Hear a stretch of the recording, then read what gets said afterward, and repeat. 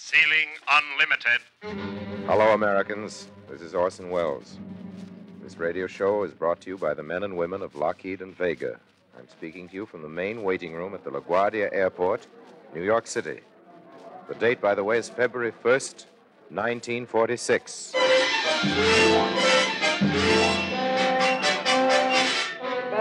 Boston, Halifax, Belfast, Liverpool, and London. All aboard. Amazon Express leaving at gate three in five minutes. Have a good trip, honey. Have you forgotten anything? No, I don't think so. You packed my raincoat in the big bag? Yes, and your Palm Beach suit and your heavy underwear. Oh, yes, and your dress suits and the small trunk along with your white flannels and warm woolly topcoat.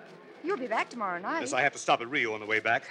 Pereira lives four or five hundred miles out of town. You know air cabs. Takes them half a day to find a number, even if it is painted all over the roof. Daylight limited for Cairo, Egypt, leaving on runway 82 in five minutes. Is that my plane, the Daylight Limited? I'm going on to Cairo. Yes, madam. May I see your ticket, please? West Africa Special, leaving on runway 54. Darling, please be sure and remember to return Mrs. Amaja's bag in Buenos Aires. She forgot it last weekend. All in order, madam. Gate 82. You're sure we won't need a passport? Oh, no. All that'll be necessary is your certificate of health. Oh, uh, but we're going on from Cairo. We're going clear around the world. Won't we need a passport anywhere? Oh, no, madam. Passports were abolished during the Second World's Congress. Arctic Express, last well, call. of course I knew that, but I thought maybe. Uh, what I meant to say is we don't want to run into any wars or anything like that in some uncivilized part of the globe. There hasn't been a war since 19. I beg your pardon, but when's the next plane for Moscow? Oh, there's a London's Commuter Express leaving in three and a half minutes, sir. You can change in England. Say, I left my commutation ticket at home this morning. Can I buy a one-way ticket? Eastern Express making connections for India at gate 9. They haven't word about the South American Express. I'm not taking it, don't you remember? I have to go to Lisbon first. Oh, of course. That's why you took your raincoat. Well, have fun, and I'll see you tomorrow night, unless you call. I've got a month vacation coming up in July. I Think I'll take the family over. Got an eight-year-old boy who's never been to China. Australia Special, leaving in three minutes, gate 6. Last call for Daylight Limited. Dear me, I'd better hustle. Oh, take the pneumatic conveyor to runway 32, madam. You've plenty of time. Landing strip's only two miles away. You be careful flying back home, and please, dear, watch what you're doing when you put the plane in the garage. Uh, goodbye, darling.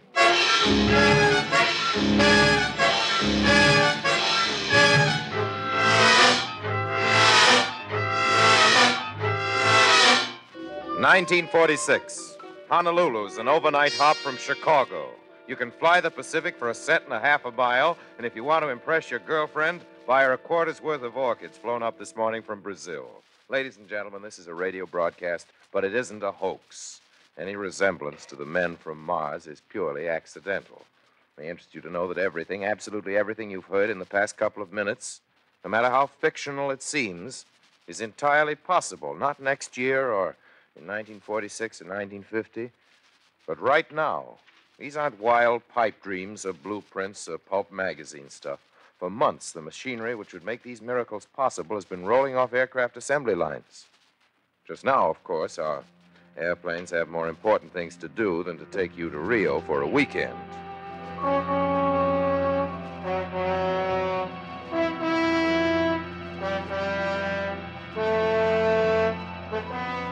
All right. You know what to do. Sure. Down the funnel. Let her rip. Hold your hats, gentlemen.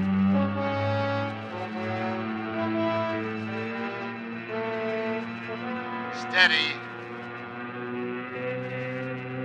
Steady as you go.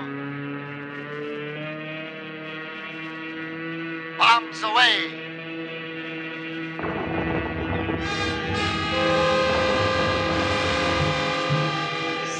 Jackson. that Jap battleship is one dead duck.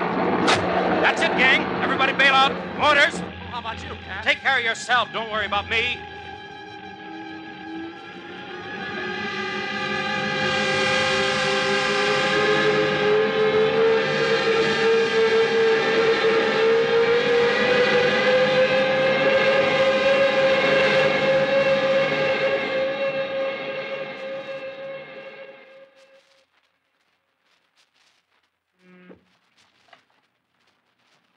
Jumped clear. But the pilot never had time to bail out. Somehow you can't help wondering if anything, even a Japanese battleship, is worth the life of a man like Colin Kelly, Jr. In the conviction that the service and example of Captain Colin P. Kelly, Jr. will be long remembered, I ask for this consideration in behalf of Colin P. Kelly III. That's the passport to an education for Corky Kelly, age three. Signed by the President of the United States. And that answers the questions, really.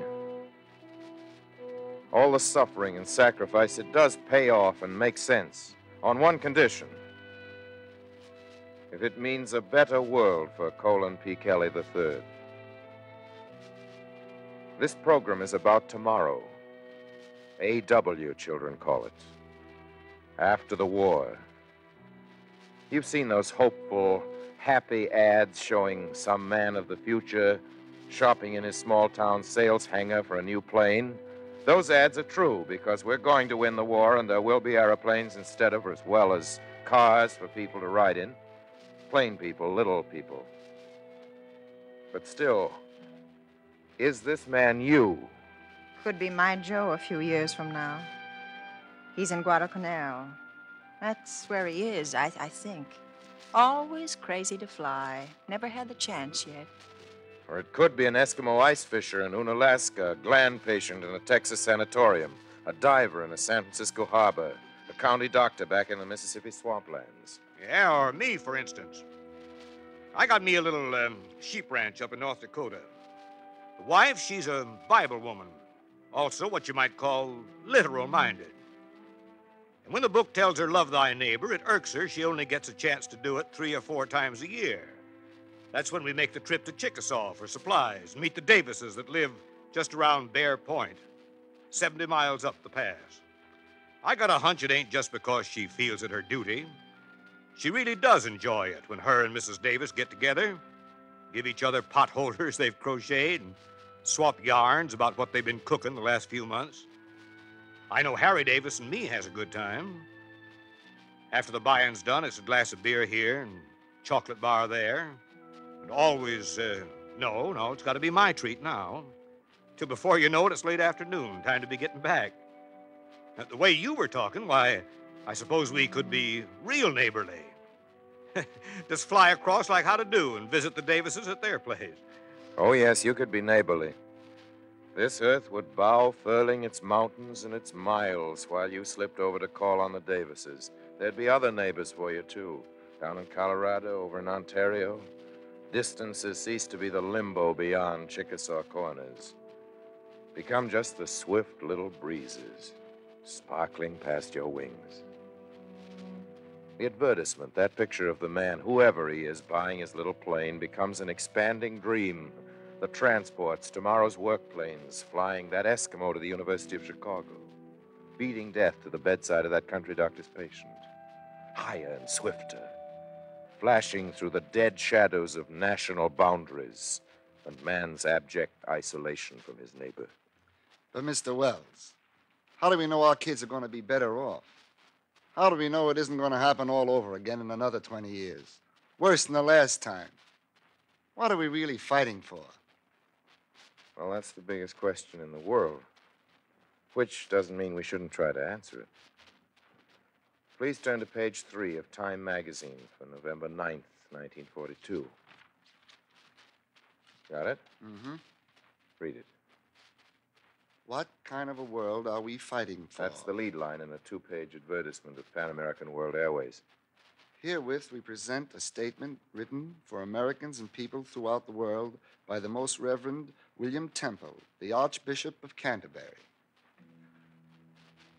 The structure of life as we knew it before the war has already been profoundly modified. How far do we want to restore it if we can? I offer these suggestions as a goal to aim at immediately. Every child should find itself a member of a family housed with decency and dignity, so that it may grow up in a happy fellowship unspoiled by underfeeding or overcrowding, by dirty and drab surroundings, or by mechanical monotony of environment.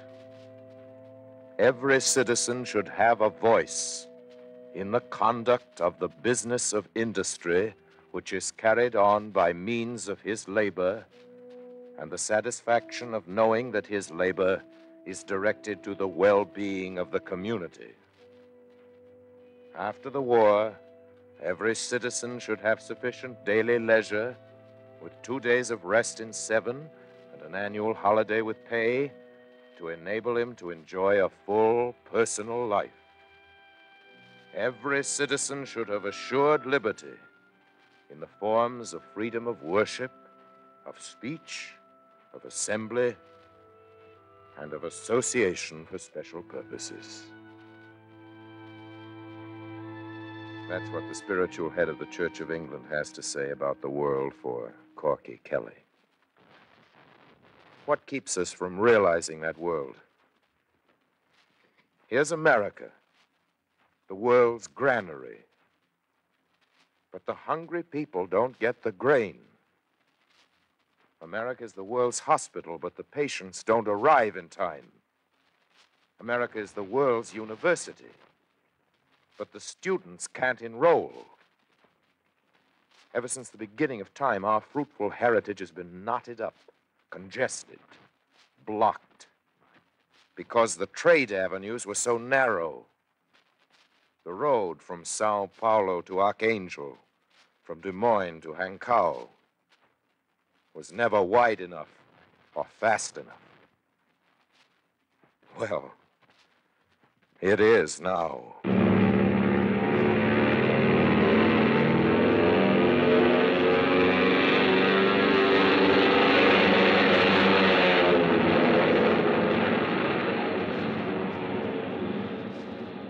You've heard that sound many times on this program. It's a simple sound effect. We've tried to make it more than that. We nominate that noise as a flag for the future, a trumpet call announcing tomorrow, the day to come when the bomb sights are dismantled and the guns are taken off and the steel armor removed, and man, the common man whose century this is to be, rebuilds his cities. Tomorrow. Just between us, Corky, I'd swap lifetimes with you, sight unseen.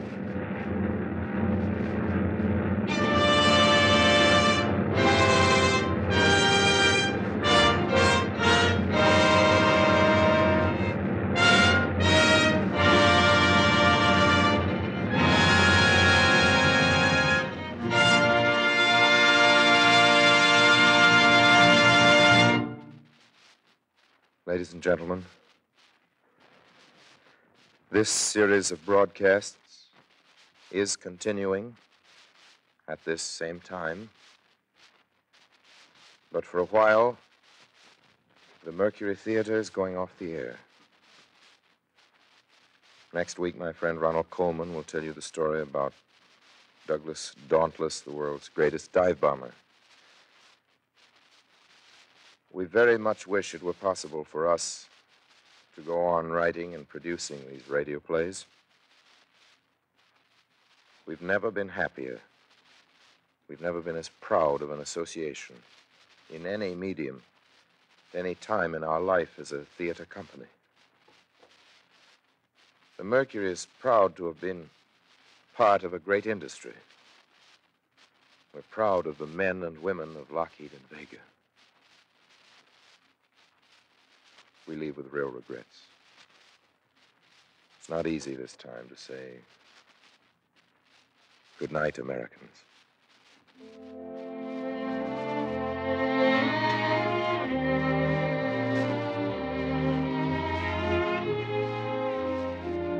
This program has come to you from the Lockheed and Vega Aircraft Corporations of Burbank, California. Be with us again next Monday night when Ronald Colman tells the story of the Douglas Dauntless. This is the Columbia Broadcasting System.